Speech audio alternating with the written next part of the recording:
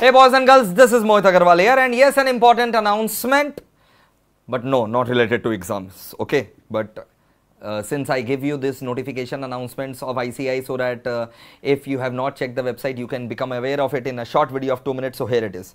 It is not related to exams though.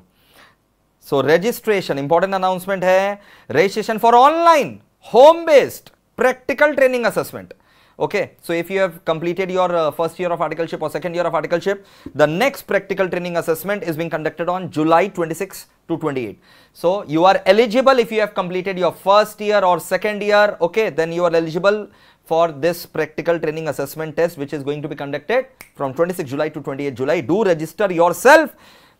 Do register yourself and registration will start from 7th of june and will continue till 13th of June. Okay, so register yourself uh, in between 7th June to 13th June at this link which is given to you. Okay, so this was an announcement related to the practical online uh, practical training assessment test, right?